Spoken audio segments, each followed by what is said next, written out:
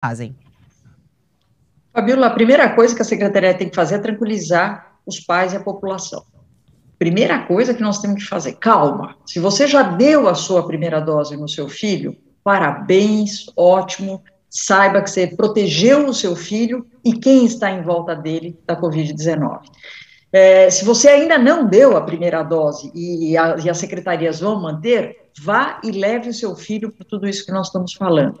É, eu só queria complementar uma coisa da doutora Ana Escobar, que mesmo esses casos de pericardite e miocardite que aconteceram e estão descritos no mundo afora, em especial nos meninos, evolução benigna, é, tratou com anti-inflamatório, Quer dizer, não teve nenhuma repercussão maior, não estou dizendo que não possa ter, mas até este momento e o acompanhamento dessa farmacovigilância, ou seja, essa, essa vigilância toda no mundo inteiro para ver esses casos, está todo mundo de olho, porque vários países estão vacinando e já vacinaram uma grande quantidade de adolescentes. Então, já tem essa experiência para tranquilizar a gente.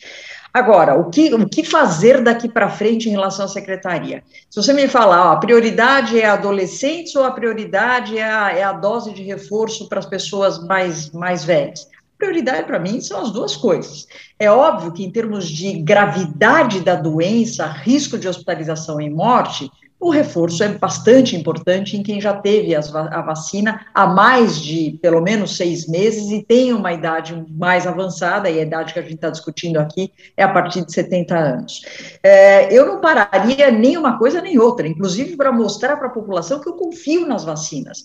Se eu recuo, se eu volto atrás, e principalmente com uma explicação absolutamente não ciência, eu diria até que anti-ciência, você só vai causar é, medo, insegurança, tudo que a gente não precisa no meio de uma pandemia que a gente está convicto que o que vai de fato, e, e, não preciso eu falar, é só ver o gráfico, é só ver os números brasileiros, o que está acontecendo em termos de redução de casos de morte, e é isso que a gente quer que se mantenha. Então, eu não pararia absolutamente nada, nenhum, nenhuma sociedade científica, mesmo a, o conselho aí dos municípios, ninguém pediu para fazer a suspensão da vacinação, eu seguiria, porque eu estou embasada em fatos e na ciência. Eu acho muito mais difícil explicar se eu tiver um caso grave de Covid num adolescente com miocardite por causa da doença que a gente está sabe que isso pode acontecer, o risco é maior do que eventualmente isso mas, relacionado à mas, vacina. Mas, doutora Rosana, e se faltar vacina, doutora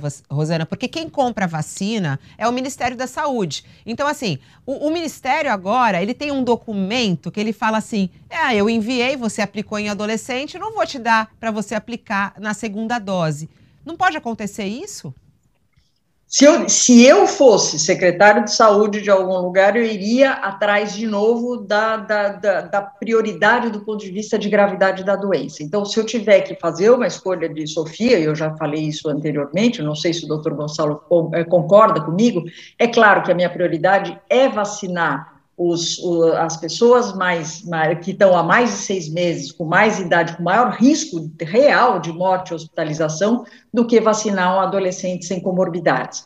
Lembrar que o adolescente com comorbidade, para mim, é prioridade também igual ao que a gente está falando da, da dose de reforço, dos imunossuprimidos, etc. Então, é isso que eu faria. Não gostaria, mas se eu tiver que escolher por uma falta de recurso, é isso que eu faria nesse momento. Mas não com a justificativa de risco risco e, e trazendo insegurança, uhum. e sim com a justificativa de está faltando vacina.